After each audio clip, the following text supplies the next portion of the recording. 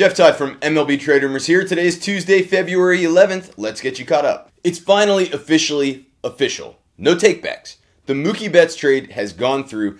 Betts and David Price are indeed now members of the Los Angeles Dodgers. Half of Price's salary will remain on the Red Sox books, but the club is picking up a ton of financial flexibility. And in this rework deal, they'll also add some young talent.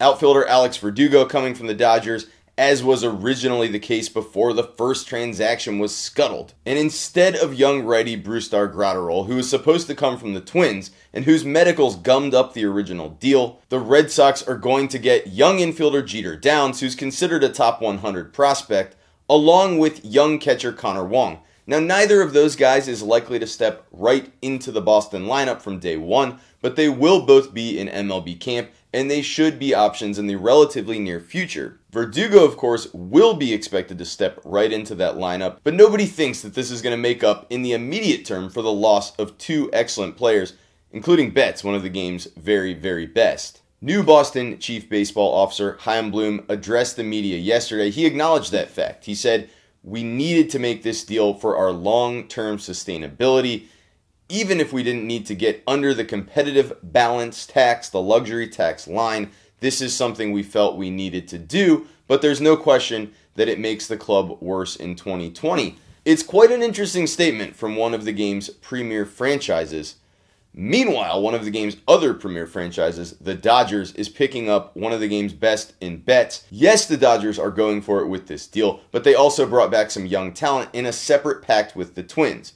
Now remember, the Twins were originally supposed to send young righty Brusdar Graterol to the Red Sox. His medicals gummed up the deal, but they didn't stop him from being involved in a swap. In the new version of things, Graterol is going to end up in the Dodgers system, along with a competitive balanced draft pick. The clubs have also swapped a couple of young players, outfielder Luke Raley headed to the Dodgers, and catcher Jair Camargo going back to Minnesota. Of course, the whole reason the Twins are doing this deal is righty Kenta Maeda.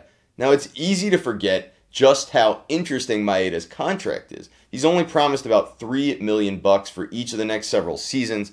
He can earn a lot more than that if he's healthy, if he's on the mound, if he's given innings and starts.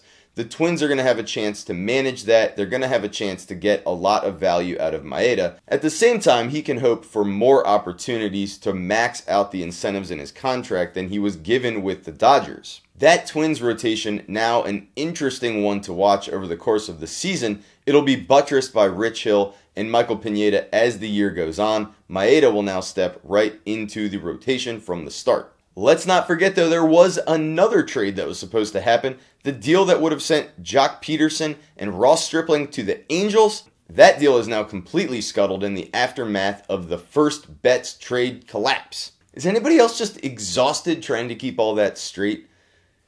We'll wait for our next story of the day. News emerged yesterday that MLB is considering a rather radical transformation of the postseason qualification process. According to Joel Sherman of the New York Post, the league is strongly considering moving from five to seven postseason teams in each league. That would mean 14 of 30 baseball teams get in every year. The way that it would work is the top overall seed, the team with the best record in each league, would get a first round bye. The other six teams would have three game series instead of the one game wild card play in format that we currently have. There are a few oddball tweaks. The top seeds would get to pick who they'd face. The games would all be played in one ballpark. After that first round, things would presumably proceed as normal. There's a lot we don't yet know about this proposal it feels like something that might eat into the regular season schedule and could even see a reduction of games there. The Players Union says it really hasn't even been consulted yet. They're certainly going to want to be involved on this one. And there are a host of possible consequences to work out. At first glance, it seems like the kind of thing that would increase competitiveness, increase spending, and make the game more fun to watch. After all, more teams would be in the postseason race, more teams would be in the hunt when the playoffs get started. On the other hand, when you look at the sort of cost efficient spending efforts that we see so much of these days, it makes you wonder if that's really how things would turn out. Baseball, a game of repetitive testing over a long period of time, is already being reduced to a different form in the postseason with short series. Now the introduction of randomness would be even greater, and only one team would be guaranteed a full series, the one with the best record in its league. There are definitely some interesting possibilities, but it seems to me there's a lot still to be worked through. But we still may not have touched upon yesterday's strangest story.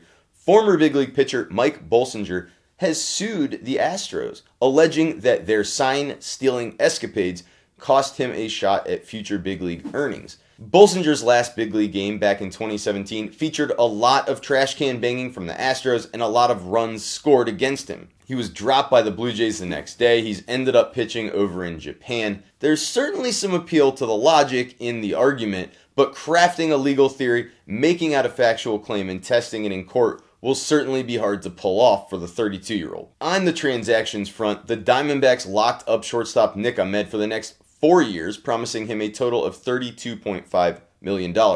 That'll keep him under contract for three seasons in which he would have been a free agent. So it's another nice get for the Arizona organization, which has locked down the left side of its infield. Ahmed, really not even an average MLB hitter, but he is a sterling performer with the glove. He's won the last two NL Gold Gloves, and if you believe in him as a defender, then this deal makes a lot of sense. And finally, elsewhere in the NL West, the Padres agreeing to terms with outfielder Juan Lagares. Now, over the weekend, the Padres shipped outfielder Manuel Margot to the Rays in exchange for reliever Emilio Pagan and other pieces, of course, involved in that deal. Now they've got Lagares sliding back in to take the place. Rangy, great glove, not so much with the bat. It didn't work out for him with the Mets, but he'll have a chance of cracking the roster in San Diego in camp. Thanks so much for joining us. Be sure to subscribe below.